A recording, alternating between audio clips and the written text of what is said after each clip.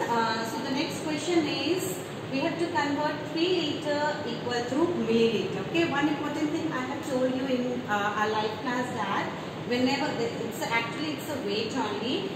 The solid will uh, will check or will write in the grams and liquid will write in the liter. So it might be something liter that we have to convert 3 liter into milliliter. Fine. So we'll convert 3 liter. First of all, we'll write 1 liter is equal to 1000 milliliter. And children, this is important. So we'll write in the box.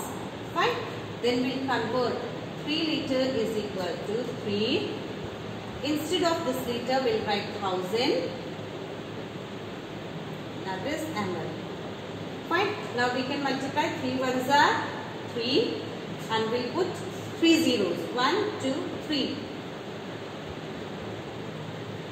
So it shows that 3 liter is equal to 3000 milliliter. Fine. Let's take one more question. So children, here we have to convert 50 meter into centimeter. Okay. Please check your question twice whenever you convert. Fine.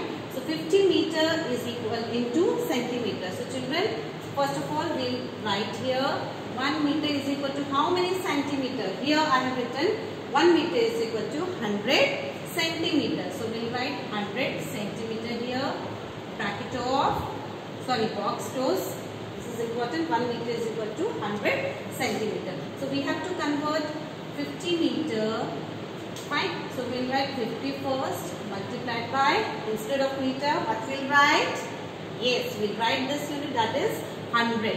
So we'll write 100 here, bracket off and we'll write this unit that is centimeter because we are converting it to centimeter.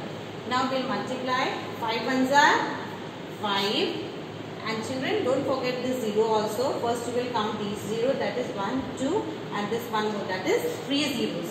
So we'll write 3 0 and unit will be centimeter. Choose that 50 meter is equal to 5000 centimeter. So children this way you can convert any uh, bigger unit to smaller unit and this in this way you uh, you will solve the question and three questions here I have written for the homework that you will write in your notebook. Fine?